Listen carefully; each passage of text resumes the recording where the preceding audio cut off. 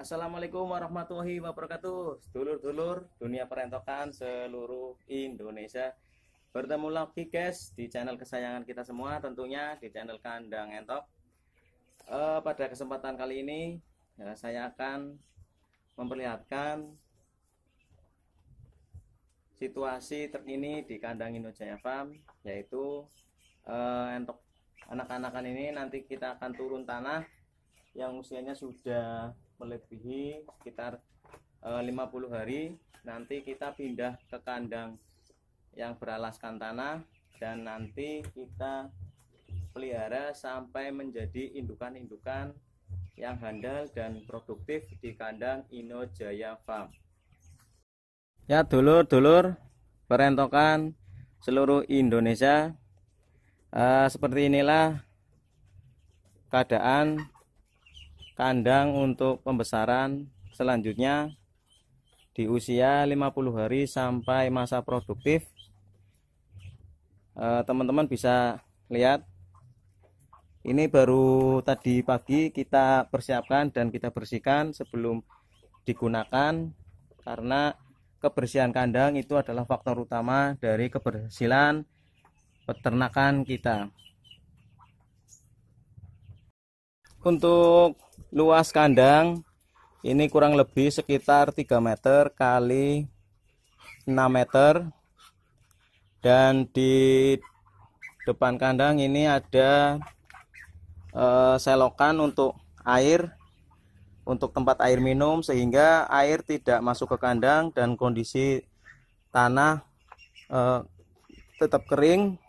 Walaupun pada musim hujan pun uh, ya yang namanya air pasti masuk ke kandang tapi minimal ini uh, mengurangi tingkat kebasahan atau tingkat kebecekan pada kandang penggemukan. Dan untuk teman-teman jangan lupa eh, pada kandang pembesaran juga harus disediakan lampu. Eh, lampu ini fungsinya cukup banyak teman-teman yang jelas di sisi lain e, bisa mengusir hewan-hewan yang predator yang suka memangsa anak-anak entok juga untuk proses penambahan penglihatan anak-anak entok pada malam hari sehingga proses pemberian pakan pada malam hari pun bisa dilakukan secara rutin di malam hari. Ya mungkin eh, segitu gambaran dari persiapan kandang untuk pembesaran di usia satu bulan ke atas sampai menjadi indukan-indukan handal. Stay tune terus, jangan skip lihat foto eh, videonya sampai selesai. Semoga bermanfaat untuk dulur-dulur peternakan entok seluruh Indonesia dan jangan lupa untuk saling support Sukses selalu untuk peternakan entok seluruh Indonesia. Salam ngos-ngos.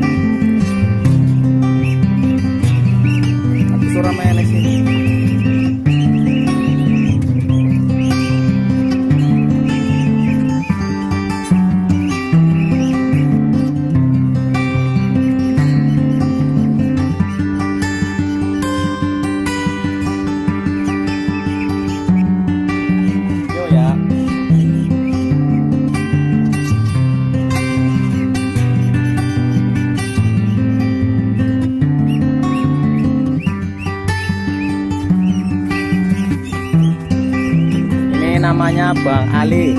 Yang kemarin kandangnya pakai sistem lantai keramik